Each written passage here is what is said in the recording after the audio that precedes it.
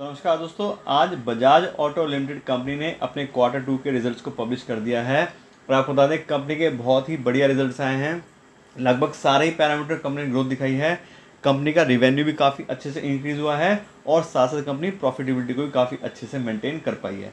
अगर यहाँ बात करें नंबर्स की तो इस क्वार्टर में कंपनी के जो रिवेन्यूज आए हैं, वो हैं दस हज़ार दो सौ तीन करोड़ रुपये और हम जो फाइनेंशियल्स की बात करें कंसोलिडेटेड रिज़ल्ट हैं और सारी जो फिगर्स हैं करोड़ के अंदर हैं। और साथ साथ जो अर्निंग पर शेयर की है, वो रुपीज़ के अंदर, बाकी सारी फिगर जो हमारी, वो करोड़ के अंदर है। तो हम बात करें थे रिवेन्यू की तो इस क्वार्टर में कंपनी के रिवेन्यू आए दस हज़ार दो सौ तीन करोड़ रुपये जबकि पिछले, यानी कि जून 2022 के क्वार्टर में थे आठ हज़ार पाँच करोड़ रुपये और सितंबर 2021 के क्वार्टर में थे आठ हज़ार सात सौ बासठ करोड़ रुपये यहाँ पे देखें तो कंपनी ने क्वार्टर ऑन क्वार्टर बेस पे काफ़ी अच्छी 27 परसेंट ग्रोथ दिखाई है, साथ ही साथ ईयर ऑन ईयर बेस पे भी 16 परसेंट काफ़ी अच्छी ग्रोथ यहाँ पे दिखाई है।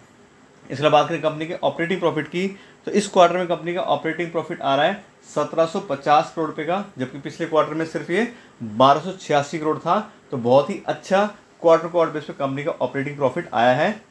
यहाँ बात करें तो 36 परसेंट का बहुत ही अच्छा कंपनी ने ऑपरेटिंग प्रॉफिट मार्जिन में ग्रोथ दिखाया है। इसके बात करें सितंबर 2021 के कंपनी के ऑपरेटिंग प्रॉफिट की तो वो सिर्फ़ 1400 करोड़ था। और यहाँ पे देखें तो ईयर ऑन ईयर बेस पे भी काफ़ी अच्छी 25 परसेंट कंपनी ने ग्रोथ दिखाई है। इसके बात करें कंपनी के ऑपरेटिंग प्रॉफिट मार्जिन की तो पिछले क्वार्टर के मुकाबले इस क्वार्टर में कंपनी का ऑपरेटिंग प्रॉफिट जो है वो एक परसेंट से इंक्रीज हुआ है मार्जिन क्योंकि जून 2022 में कंपनी का ऑपरेटिंग प्रॉफिट 16 परसेंट था और सितंबर 2022 का जो अब रिज़ल्ट आया है, उसमें 17 percent company operating profit margin maintain कर रही है। इसके बाद करें सितंबर 2021 के क्वार्टर की तो उसमें भी कंपनी का जो ऑपरेटिंग प्रॉफिट मार्जिन था वो 16 परसेंट का था तो ईयर ऑन ईयर बेसिस भी और क्वार्टर ऑन क्वार्टर बेसिस पे भी दोनों ही बेसिस पे कंपनी ने एक परसेंट का इंक्रीमेंट यहाँ पे अपने ऑपरेटिंग प्रॉफिट मार्जिन में दिखाया। इसके बात करें कंपनी की अदर इनकम की। अब इसको जो हमने इंक्लूड किया ये इसलिए किया है क्योंकि सितंबर 2021 का जो क्वार्टर था, उसमें आप देखो तो कंपनी ने एक करोड़ की काफ़ी हाई अदर इनकम दिखाई थी। तो इस अदर इनकम की वजह से जब हम प्रॉफिट कंपैरिजन कर रहे हैं तो इस क्वार्टर में ईयर ऑन ईयर बेस पे जो प्रॉफिट्स हैं, वो सारे में कम होते दिखाई दे रहे हैं। लेकिन हम क्वार्टर क्वार्टर बेस पे बात करें तो पिछले क्वार्टर में आपने इस क्वार्टर में कंपनी के प्रॉफिट्स में भी ग्रोथ आई है। चलिए डिस्कस करते हैं। तो अब सितंबर 2022 का जो क्वार्टर है, उसमें कंपनी ने 532 करोड़ रुपए की अदर इनकम दिखाई है और जून 2022 में कंपनी की अदर इनकम थी 320 करोड़ रुपए। अगर कंपनी का पुराना रिकॉर्ड भी देखते हैं तो 300 400 500 करोड़ के आसपास कंपनी अगर अदर इनकम दिखाती है तो वो नॉर्मल होती है, लेकिन सितंबर 2021 के क्वार्टर में कंपनी ने एक करोड़ की अदर इनकम दिखाई थी, जिसकी वजह से कंपनी के प्रॉफिट्स काफ़ी ज़्यादा इंक्रीज हो गए थे। लेकिन अब बात करें तो यहाँ पे जो कंपनी का प्रॉफिट बिफोर टैक्स आ रहा है, इस क्वार्टर में वो आ रहा है बाईस करोड़ रुपए का नॉर्मल अदर इनकम के साथ में।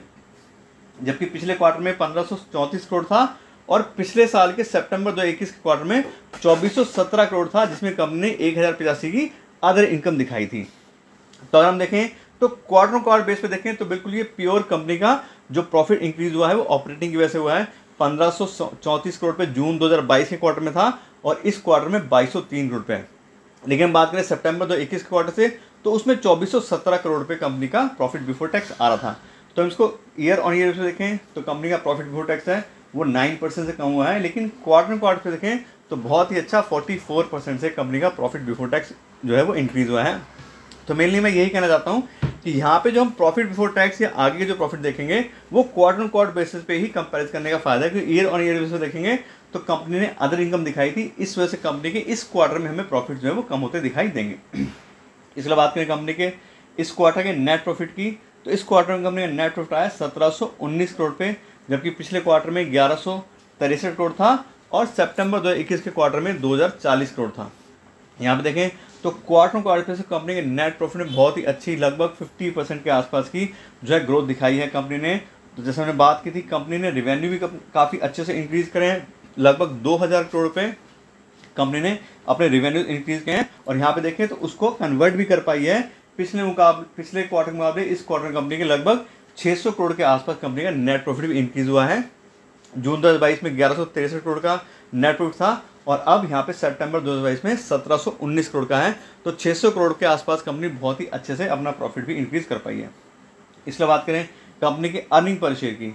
तो यहाँ देखें तो इस क्वार्टर कंपनी की अर्निंग पर शेयर लगभग साठ रुपये पर शेयर के आसपास आ रही है। ये बहुत ही अच्छा नंबर है, जबकि पिछले क्वार्टर में सिर्फ़ चालीस रुपये बीस पैसे थी और सितंबर दो इक्कीस के क्वार्टर में सत्तर सत्तर रुपये पचास पैसे के आसपास थी। उसका रीज़न हम आपको बता चुके हैं कि वो क्यों ज़्यादा उसमें आ रही है। तो यहाँ पे भी देखें तो नेट प्रॉफिट ने सेम कंपनी ने अर्निंग पर शेयर में भी 48 परसेंट की काफ़ी अच्छी ग्रोथ दिखाई है। तो गए कंपनी के रिजल्ट्स के बारे में बात। जो हमने बात की थी रिजल्ट्स काफ़ी अच्छे हैं, मेरे हिसाब से बहुत ही अच्छे हैं। और मैं आपको बता दूँ, मेरा जो यहाँ पे रिजल्ट्स को डिस्कस करने का मोटिव रहता है, वो यही रहता है कि जो भी हम इन्वेस्टमेंट करते हैं, हम यहाँ पे देखें तो मैं लॉन्ग टर्म के हिसाब से बात करता हूँ। मुझे नहीं पता कि कल को मार्केट में क्या होगा इस रिज़ल्ट के बाद में, या एक हफ़्ते बाद, एक महीने बाद मार्केट कहाँ जाएगी, या बजाज ऑटो का शेयर्स कहाँ जाएँगे। लेकिन बात करें अगर लॉन्ग टर्म कंसेप्ट की तो जिस भी कंपनी में इन्वेस्ट कर चुके हैं, या हम करना चाह रहे हैं उनके रिजल्ट्स को हमें स्टडी करते रहना चाहिए, जिससे हमें कंपनी बारे में डिटेल नॉलेज मिलती रहे कि कंपनी का प्रॉफिट कैसे चल रहा है कंपनी के बिज़नेस में ग्रोथ आ रही है, नहीं आ रही है। उसके बेस पे हम डिपेंड करेगा कि हमें उस कंपनी के साथ इन्वेस्ट करना है या नहीं करना है, या हमने किया हुआ है तो हमें बाहर निकलना है, या और ज़्यादा पैसा इन्वेस्ट करना है। जब यहाँ देखें तो हमने क्लियर देखा कंपनी के रेवेन्यूज भी इंक्रीज हो रहे हैं कंपनी का प्रॉफिट भी इंक्रीज हो रहा है। तो जो बहुत सारी बातें हो रही थी कि इलेक्ट्रॉनिक व्हीकल्स की वजह से सब ऑटो जो कंपनी है, उनको प्रॉब्लम आई, कुछ आएगी। तो अभी हम देखें तो कोई खास इफ़ेक्ट कंपनी पर नहीं दिखाई दे रहा बल्कि कंपनी के प्रॉफिट्स और अर्निंग्स इंक्रीज ही हो रहे हैं। इसलिए अगर हम कंपनी के बिज़नेस में इंटरेस्टेड हैं लॉन्ग टर्म इन्वेस्टमेंट इंटरेस्टेड हैं तो हमें बिल्कुल ग्रोथ और ये जो रिजल्ट्स आते हैं, वो हमें हर साल, हर तीसरे महीने जो भी आते हैं, ये सब हमें चेक करने चाहिए। अब हम बात करते हैं कंपनी के करंट शेयर प्राइस की। तो आज की जो कंपनी की करंट शेयर प्राइस है, वो आ रहा है पैंतीस सौ सत्तर रुपये और हमने अभी पिछले हफ़्ते ही एक वीडियो डिटेल बनाई थी बजाज ऑटो लिमिटेड के ऊपर, जिसमें हमने डिटेल में चेक किया था कि कंपनी के प्रॉफिट्स और ये सब चीज़ें कैसे चल रही हैं कंपनी का बिज़नेस क्या चल रहा है, और हमने कंपनी की वैल्यूशन भी करी थी। और आप बताते हैं, जो पैंतीस सौ सत्तर रुपये पर शेयर का प्राइस आ रहा है, इसके हिसाब से बिल्कुल कंपनी आज में अंडर वैल्यूड कंपनी है। जैसे मैं बात की थी इलेक्ट्रॉनिक व्हीकल्स की वजह से बहुत सारे लोग जो हैं, इन तरह की कंपनियों में इन्वेस्ट करने से बच रहे हैं। तो क्योंकि मार्केट के सेंटीमेंट्स कम हो गए हैं पी बाई ई कम हो गया है, इस वजह से कंपनी का शेयर प्राइस कम हुआ है। लेकिन यहाँ पे देखें तो हमें क्लियर दिखाई दे रहा है कि कंपनी की अर्निंग्स लगातार हर क्वार्टर में बढ़ रही है।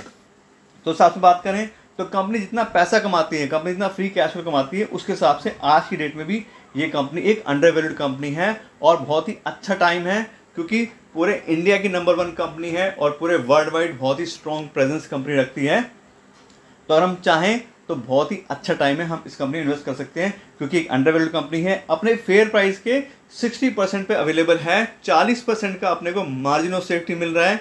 या कहें तो उसके फेयर प्राइस पे हमें डिस्काउंट मिल रहा है तो काफ़ी अच्छा टाइम है। और आप उस वीडियो को भी चेक कर सकते हैं, उसमें और ज़्यादा डिटेल देख सकते हैं। अगर आपने इन्वेस्ट किया हुआ है तो बिल्कुल मेरे हिसाब से बने रहिए। आने वाले टाइम में अगर कोई भी चेंजेस होंगे, चाहे इलेक्ट्रॉनिक व्हीकल्स के जैसे भी होंगे तो इतनी बड़ी कंपनी है तो ये भी उस मार्केट को ग्रैप करने के लिए ऑलरेडी अपना काम शुरू कर चुकी हैं। और अगर आप इन्वेस्ट करना चाह रहे हैं तो बहुत अच्छा टाइम है। अगर आप चार साल, पाँच साल या उससे ज़्यादा का टाइम लेके चलते हैं। तो जो बातें हो रही हैं कि अगले साल रिसेशन आ जाएगा या यूएस में ऑलरेडी रिसेशन शुरू हो गया है तो वो सब चीज़ें इसीलिए आती हैं कि अच्छा इन्वेस्टर मार्केट में एंटर कर सके और कम दाव पे कंपनियाँ तभी मिलती हैं जब कोई ना कोई टेम्प्रेरी प्रॉब्लम चल रही होती है। तो अगर हम चार पाँच साल के लिए होल्ड करके रखेंगे तो बहुत ही अच्छे प्राइस पे, बहुत ही अच्छे मुनाफे पे हम इस कंपनी से कमा पाएँगे। तो दोस्तों, आज की जो भी रिजल्ट्स आए हैं, उसके बारे में डिटेल नॉलेज आपको दे दी है। साथ साथ अपना एनालिसिस भी आपको बता दिया है कि इन रिजल्ट्स के बेस पे हमें क्या करना चाहिए। तो आज के लिए इतने रखते हैं। Thank you so much